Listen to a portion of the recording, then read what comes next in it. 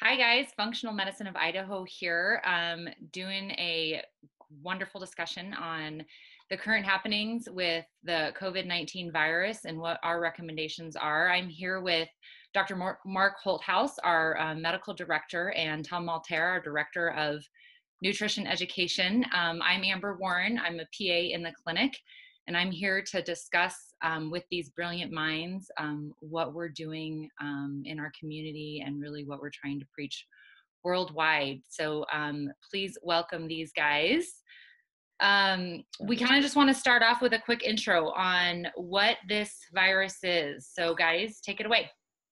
Yeah, I'll start a little bit, and then uh, Tom, Tom, let you wax eloquent here. I know you're really prepared. I'm, I'm excited to learn a little bit of that too. I, what I know about this is that it's a coronavirus. It's a zoonotic infection, meaning that it comes from animals and it gets transferred to humans. And it's not certainly the first time we've seen these.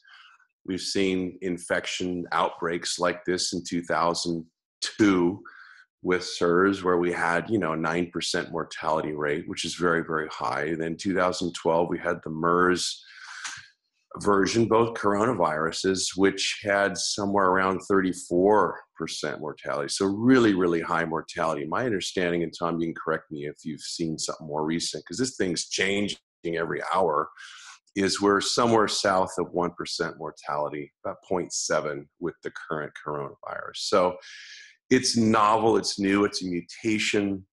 It's very different than what we saw in 2009 with H1N1. You all remember that? And that was a flu, an influenza, a novel flu virus that really was kind of here and then gone and you think wow what happened to that it was it was a quick transient thing and the difference was it was a flu virus, and we, we understand flu viruses a little bit better. We were able to develop a vaccine very, very quickly and get updated and, and get people vaccinated. Passive immunization occurred, and we did some, not, it really didn't even get to this point of having to institute this massive social isolation.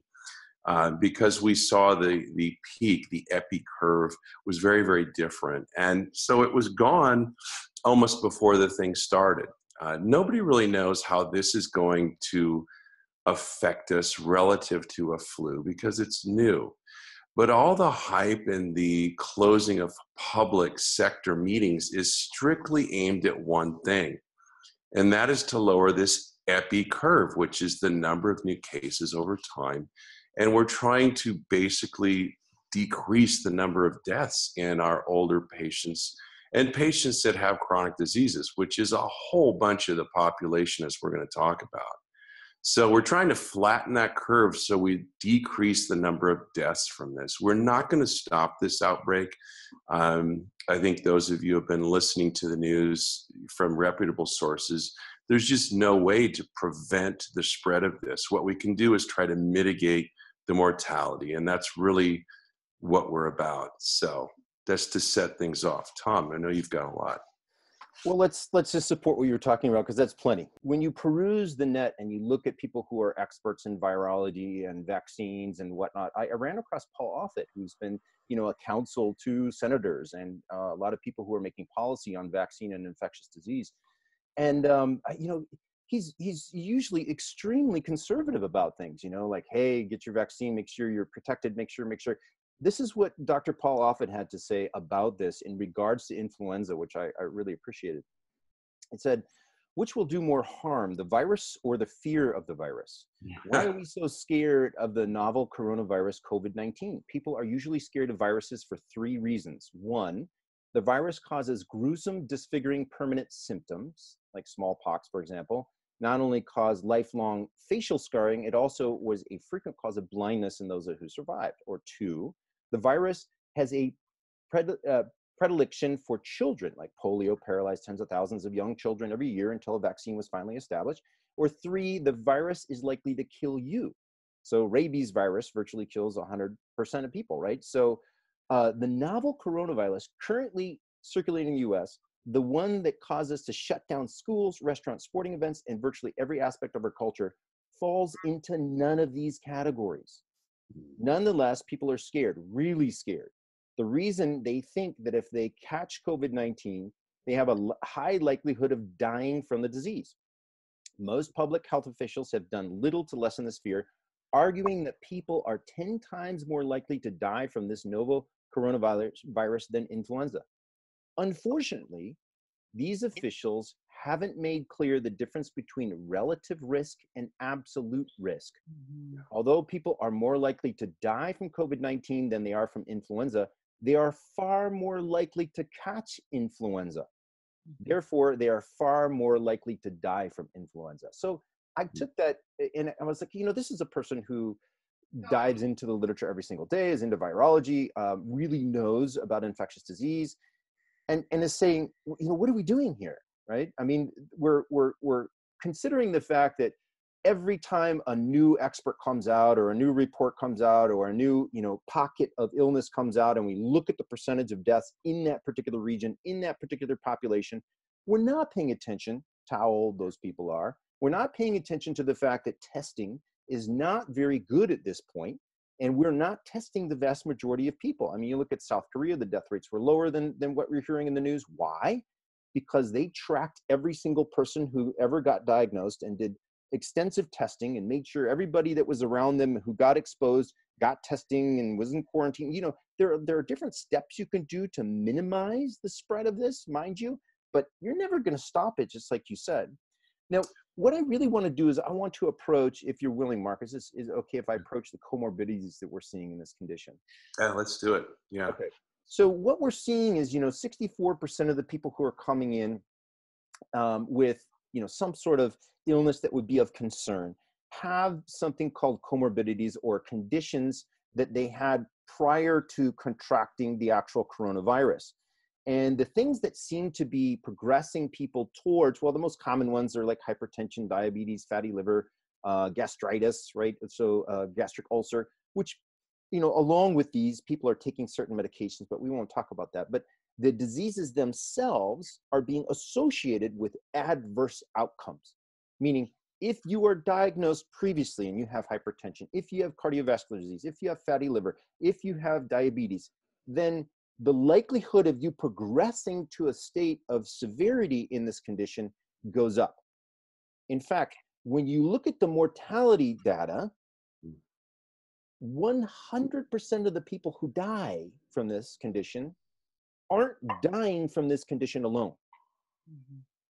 Meaning they had some sort of condition previously that left them more susceptible to adverse outcomes. So they're getting infected. These organisms travel, the, the virus, or the virus travels into the lungs. The immune system responds to the virus. And how the immune system responds to the virus and how the body recuperates from that response determines if a person is totally fine or gets pneumonia, progresses to an acute respiratory response, and then boom, they end up dying. Now, what this is telling us is that if a person has an unstable environment to begin with in their own cells, they're more likely to pass. So, our job as functional medicine practitioners is to stabilize cellular function. Mm-hmm. Our job is to get to the root cause of all diseases. Our job is to make sure that when a person's immune system responds, the immune system is relatively prepared to do that. It has all of the nutrient cofactors like zinc and vitamin A, vitamin D, whatever it needs to not only respond to the infection, but also turn off once that response is no longer necessary. So, for example, there's something called T regulatory cells. That once your immune system starts launching an attack, then you want something to come out and regulate how much of an attack you have. And what we're seeing in certain populations with these comorbidities, for example, they don't have good regulation. They don't have good nutrient status. These people usually have insufficiencies of certain nutrients. So, Mark, you found a particular nutrient that was uh, significant in this population. So you want to speak to that?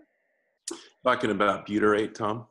Um, I'm talking about the potassium, the hypokalemia. Ah, yeah, let's do that. Well, so so yes, there, there's some data that shows, especially uh, coming out of China, that the severity of the cases seem to have a correlation with having low potassium. And the lower the potassium, the sicker these patients were. And ironically, some of these comorbid conditions that we're seeing associated with people that get really ill, one of them is high blood pressure. And so it brings up the question is, is there a correlation between these high blood pressure patients and those having low K, low potassium? We know that uh, a lot of diets that are high in potassium, the DASH diet, DASH 2 diet, uh, are helpful for systolic hypertension. And so it, it just begs the, the bigger overarching question is looking at the terrain that the patient lives in, as opposed to getting so focused on the bugs. What's going on in the field? You know, how healthy is the terrain, the field? And that's really, I think, where where Tom and I want to focus is is functional medicine's approach to a root cause and and building resilience and and having a terrain that's not going to be falling as easily. Uh, so yeah, this is an electrolyte that we're talking about. This is related to what you eat, uh, the quality of food that you eat, setting people up for severity of disease, being found in these studies coming out of China. Yeah, so that's that's a beautiful point, right? If you are preparing for a storm, what do you do? You go to the grocery store and you stock up on food. You go ahead and you nail up your windows, right? You make sure that you have all the supplies necessary so when the storm comes, you're prepared. Mm-hmm. So why isn't everybody running out right now and trying to put stores in their cells? Why aren't they trying to gather all the nutrients like they are toilet paper off the store shelves and trying to say, do I have enough potassium at this time? Do I have enough magnesium? We know that's important. Do we have enough vitamin D? Have you been tested for nutrient deficiencies? do you know what your current status is? Because we see in these populations, hypertension, diabetes, whatnot, there are associative nutrient deficiencies. There hmm. are associative problems that we can help you with. So, our job as functional medicine practitioners is to make sure each and every one of your cells is performing perfectly. Mm-hmm. So, we want to get you to that stage. And, you know, dietary approaches for stopping hypertension, for example, um, you know, this this thing here, think about that for a second. It recommends lots of vegetables. It recommends lots of whole foods. It re- recommends that you reduce refined oils, refined carbohydrate.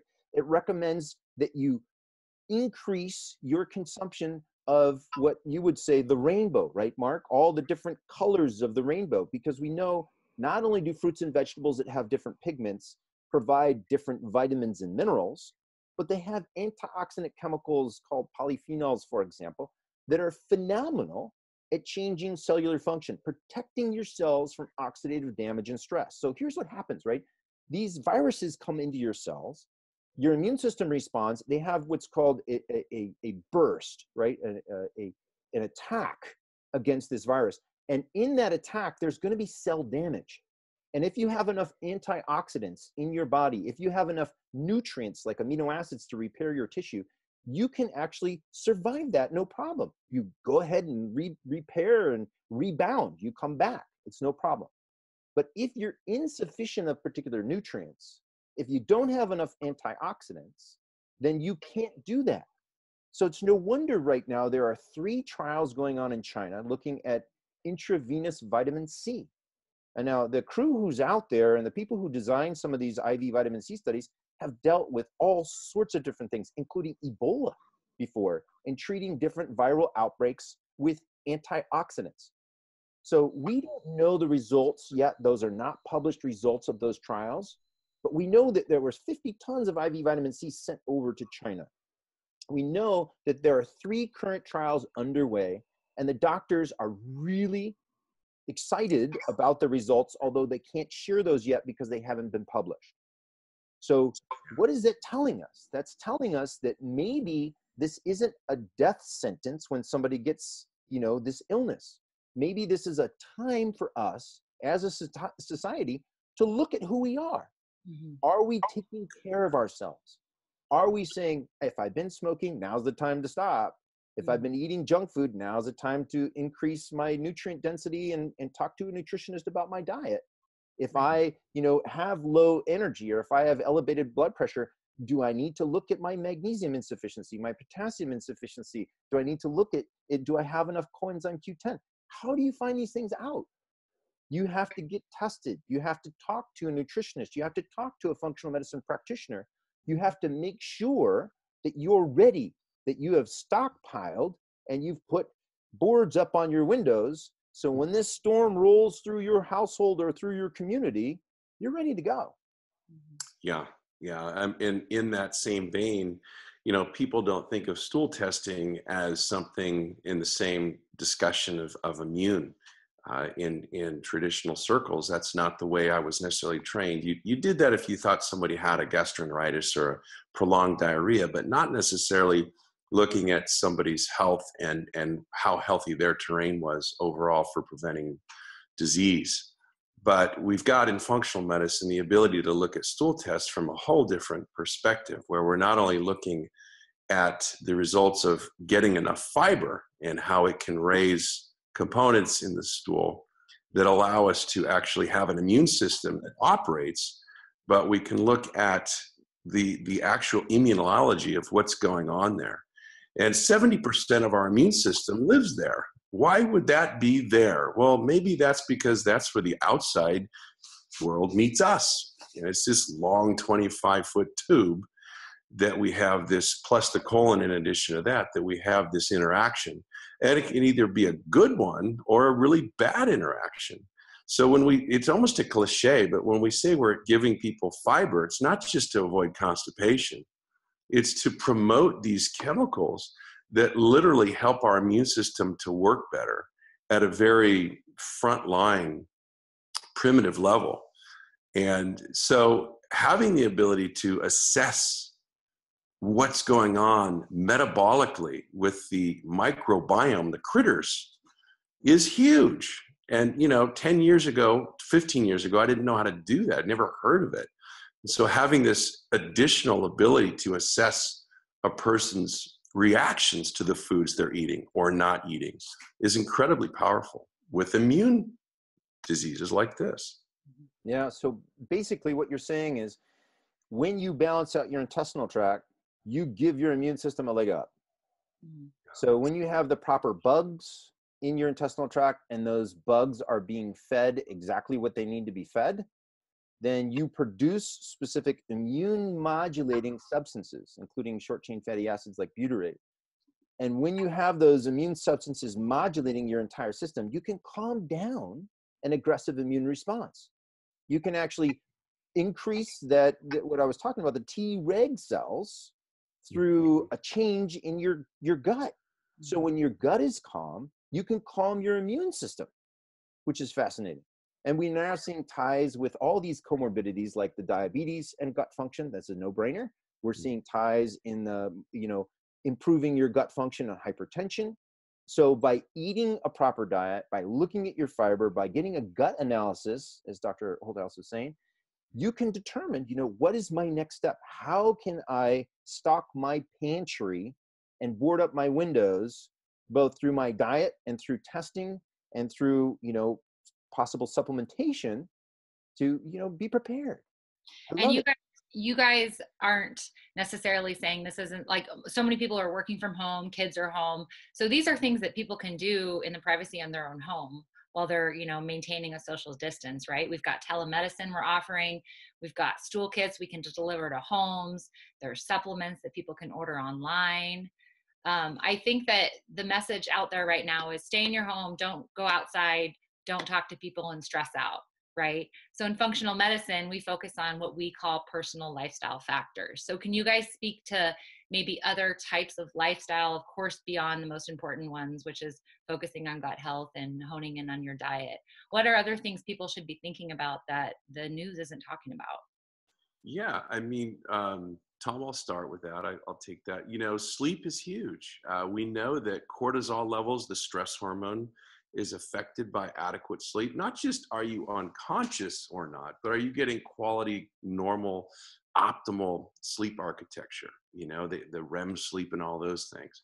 It has to do with your immune function. Melatonin, which is a, a, a very key chemical in the brain, which has to do with sleep, come to find out has a lot to do with your immune system and immune yeah. function and cancers we're seeing now too so these these things associated with sleep, like neurotransmitters and hist, hist which histamine is one, melatonin, uh, hormones. The, these are incredibly related to adequate sleep, and then stress. You know, we we don't really talk about the connecting the dots as often in, in traditional care and and what i love about functional care is that we're able to kind of look at the biochemistry behind when you have an emotional or psychological or even a physical stressor what it does to the immune globulins which are the first line of defense in your intestinal tract towards reaching out and saying oh i don't like you mr virus grabbing on and and and it gets evacuated immediately before it even gets taken into the body. But if you're low in those immune globulins from stress or inadequate sleep or a bad diet, you, you've got a real handicap as to vulnerability. And that's really what we're talking about. Mm-hmm. And then exercise. Exercise is amazing. One of the things we know, besides making people less depressed and having a better quality of life, is that it helps boost the immune system. Obviously, it does things for improving insulin uh, sensitivity, which is what happens when people lose their sensitivity to insulin with type 2 diabetes and you develop high blood sugar. And we know a lot of the people with these comorbid problems that are dying of exposures to viruses like this have diabetes.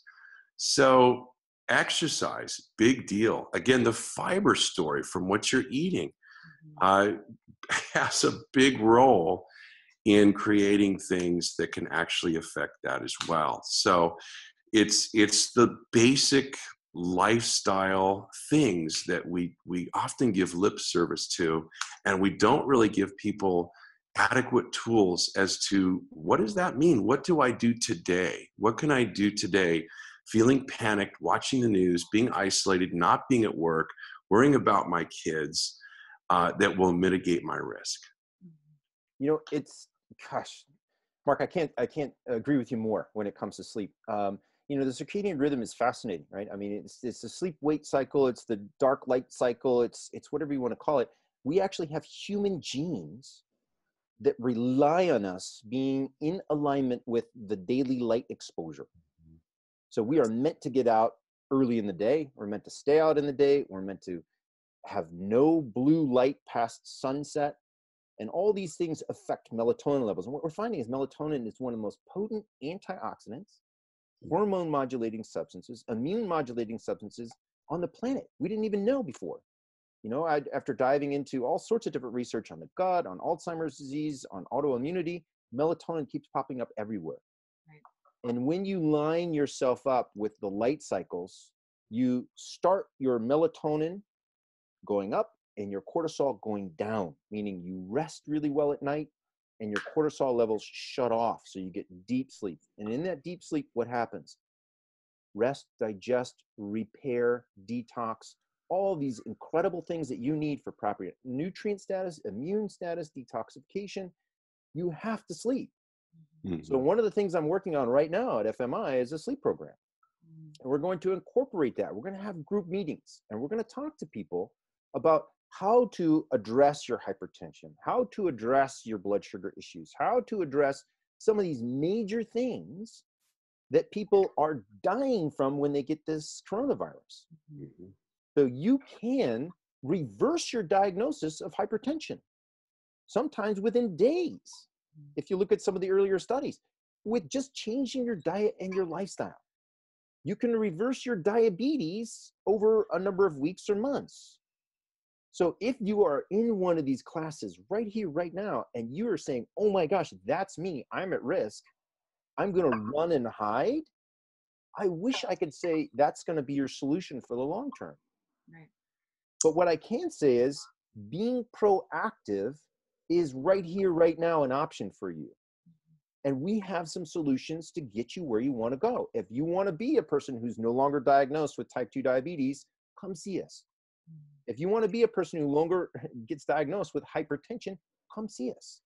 There's solutions for that. And we're going to provide group education meetings and all sorts of things for you.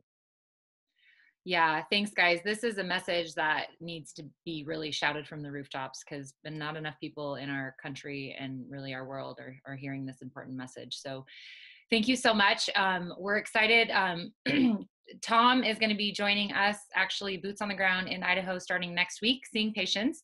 Dr. Holthouse will shortly follow two weeks later, the first week of April, um, starting to see patients in um, our Meridian clinic. Tom will be seeing patients out of both Boise and Meridian, and we're just beyond thrilled and honored to have you guys uh, joining our team and helping us here just preach this good news. So, thank you so much to both of you, and thanks to everybody who joined us and listened today.